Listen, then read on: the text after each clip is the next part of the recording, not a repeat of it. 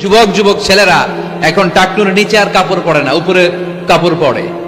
তারা দাঁড়িয়ে দাঁড়িয়ে দাড়ি রাখা টাকনুর উপরে কাপড়, ছোট্ট কোরআনের কপি নিয়ে আর গেঞ্জি পরে দাঁড়ায়। গেঞ্জির পিছনে লেখা থাকে Mohammad M U H A double M A D কি হয়?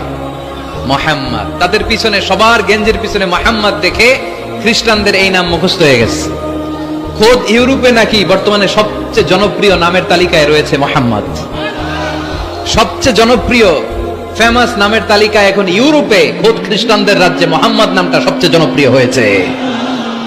গেঞ্জির পিছনে মোহাম্মদ নাম দেখে তাদের কৌতূহল। ঘটনা কি? এই ছেলেরা ভালো ভালো কাজ করে, রাস্তায় ময়লা থাকে, ময়লা ক্লিন করে। কিন্তু কারোর সাথে কথাবার্তা বলে না, গেঞ্জির পিছনে লেখা মোহাম্মদ। তারা বাড়িতে যে গুগল সার্চ ইঞ্জিনে লেখে যে, দেখি তো এটা কি? M U H A double M A D ইন্টারনেটে গুগল সার্চে যখন তারা মোহাম্মদ লেখে, তখন ইন্টারনেটে বিষ্ণু ইসা ইসলামের জীবনী চলে আসে। তারা অবাক হয়ে জীবনী পড়তে থাকে। অনেকে পড়তে পড়তে চোখের পানি ছেড়ে অস্ত্র বিসর্জন করে, যাদের নসিব ভালো, অনেকে কালিমা পড়ে মুসলমান হয়ে যায়।